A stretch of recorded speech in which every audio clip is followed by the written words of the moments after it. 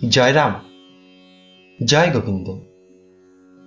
ঢাকার প্রখ্যাত ম্যাচ কারখানার মালিক শ্রীযুক্ত সতীশ মজুমদার মহাশয়ের কনিষ্ঠ ভ্রাতাদের একজন সুরেশ মজুমদার মহাশয়। ঢাকার উপকণ্ঠে বড় দোকানের মালিক, দোকানে বড় বড় চারটি দরজা, বস্ত্র এবং নানারূপ প্রসাধনী দ্রব্যের বিপণী। মজুমদার পরিবারের সকলেই শ্রী শ্রী রাম ঠাকুরের আশ্রিত সন্তান। ঠাকুর মহাশয় সেই সময় প্রায়শই প্রসন্ন ম্যাচ কারখানার মালিক সতীশ মজুমদার মহাশয়ের গৃহে যাতায়াত করিতেন।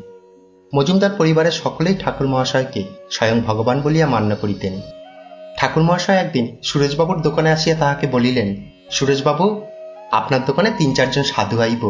তেনাদের একখানা কইরা ভালো কম্বল দিলে আপনার কাছে আমি চির ঋণী থাকুম। ওই কথা পরে সুরেশবাবুর সম্মতিসূচক বাক্যে ঠাকুর মহাশয় আশ্বস্ত হইয়া স্থান ত্যাগ করিলেন। সুরেশবাবু ঠাকুরের ওই কথা বাড়িতে তাহার স্ত্রীকে জানাইলে তাহার স্ত্রী মন্তব্য করিয়া উঠিলেন। ঠাকুর যখন বলিয়াছেন, দিতেই হইবে। তবে সাধুরা এইখানে সেইখানে ঘুরিয়া বেড়ান। ভালো কম্বলে তাহাদের দরকার কি? তুমি কম দামের কম্বল দিয়া দিবা। স্ত্রীর কথা সুরেশবাবুর মনোপুত হইল। এদিকে ঠাকুর মহাশয় সুরেশবাবুকে দেখিলেই জিজ্ঞাসা করেন যে, সাধুরা কম্বল নিয়ে গিয়াছেন কিনা? উত্তরে সুরেশবাবু বলিতেন, না ঠাকুর, এখনও কেহই আসেন নাই। ইত্যাদি। এইভাবে কয়েকদিন কাটিয়া গেল। সেই দিনটি দোকান বন্ধের দিন ছিল।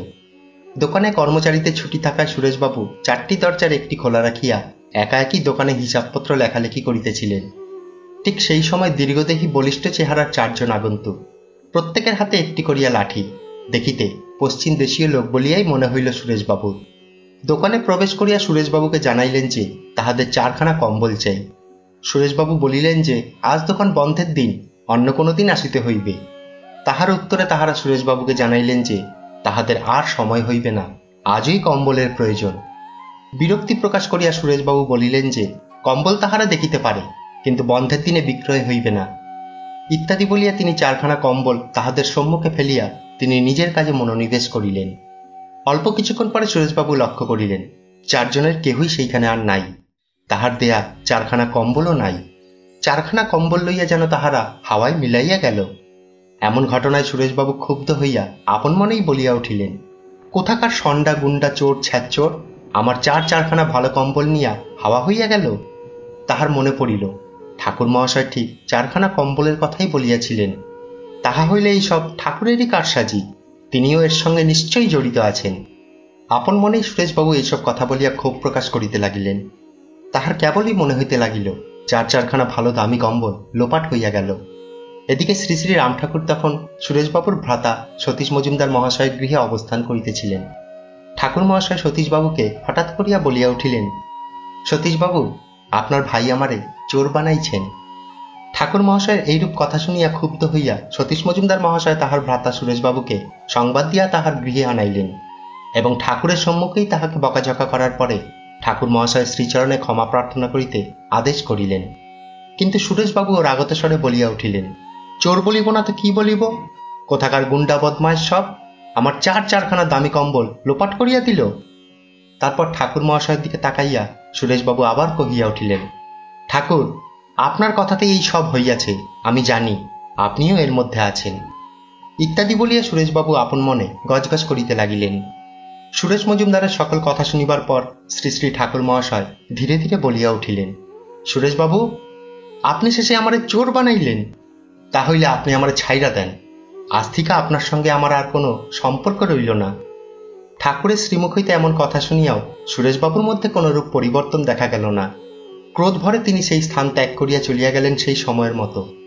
পরে তাহার ক্রোধ নিবৃত্তি হইলে তিনি মনে মনে ভাবিলেন যে, ঠাকুর কথার কথা বলিয়াছেন, আবার আপনিই আসিবেন আমার কাছে। কিন্তু ঘটনা তাহা হইল না।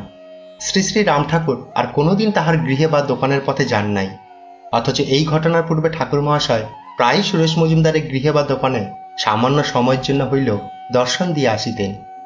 শুধু তাহাই নহে, চক্রধারীর চক্র ঘুরিতে বেশি সময় ব্যয় হয় নাই। অমন রমরমা ব্যবসা কীরকম যেন আস্তে আস্তে ক্ষয় হইতে শুরু করিল। চার দরজার দোকান একটা একটা করিয়া বন্ধ হইতে হইতে অবশেষে একদিন সম্পূর্ণ দোকান বন্ধ হইয়া ব্যবসায়ী উঠিয়া গেল। চরম দুরবস্থার মধ্যে পড়িয়া মেয়েদের লেখাপড়া বন্ধ করিয়াও নিত্য দুই বেলা আহারাদি জোটানো সম্ভব হইতেছিল না সুরেশবাবুর পক্ষে। পরে একটি ঔষধের কারখানায় শিশি বোতলের লেবেল লাগানোর কাজ করিয়া সংসার চালাইবার ব্যর্থ চেষ্টা করিয়াছিলেন সুরেশ মজুমদার মহাশয়। সুরেশবাবু বুঝিয়াছিলেন, তাহার এমন দুরবস্থার জন্য দায়ী তিনি নিজেই। গুরুর প্রতি অবহেলা এবং গুরুকে কটূক্তি করার ফল তিনি পাইতেছেন। নিজের অপরাধ বুঝিতে পারিয়া সুরেশবাবু ঠাকুরের নিকট যাইয়া বারে বারে ক্ষমা প্রার্থনা করিয়াছিলেন। কিন্তু ঠাকুর মহাশয় ফিরিয়াও দেখেন নাই তাহার দিকে। এমন ভাব করিতেন ঠাকুর মহাশয়, যেন তিনি কখনো সুরেশবাবুকে দেখেনই নাই। সুরেশবাবু বারে বারে ঠাকুরের নিকট যাইয়া অপরাপর ভক্তদের মাঝে চুপচাপ করিয়া বসিয়া থাকিতেন আর নীরবে অশ্রুপাত করিয়া একসময় ফিরিয়া আসিতেন। ঠাকুরের তরফ হইতে কোনরূপ সাড়াই পাইতেন না তিনি। এমন কষ্টকর জীবন কাটাইয়া বেশি দিন বাঁচেন নাই সুরেশবাবু।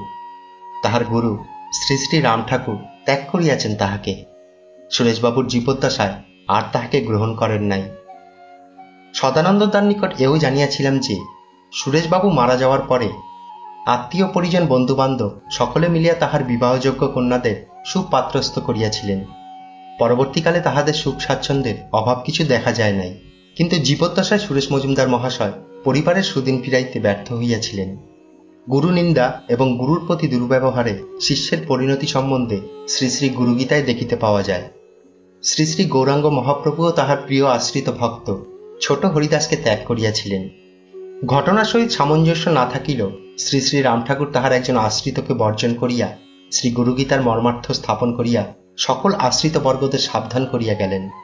এই ঘটনার পরিপ্রেক্ষিতে সদানন্দদা বলিয়াছিলেন যে, তিনি নিজে ওই ঘটনার প্রত্যক্ষ করেন নাই।